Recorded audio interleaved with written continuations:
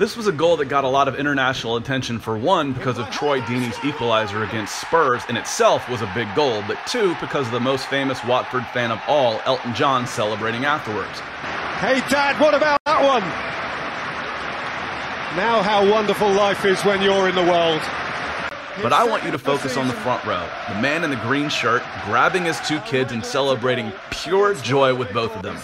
That was my moment of the weekend, and he's got two Watford fans for life. Good on you, Dad.